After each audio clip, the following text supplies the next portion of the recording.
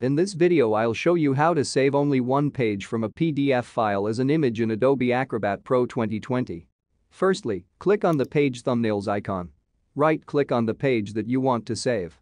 Click on Extract Pages. Click OK. As you can see a new tab has been created. Click on Export PDF. Select image and then choose PNG, more on that later. Click Export. Choose where you want to save the image and then click Save.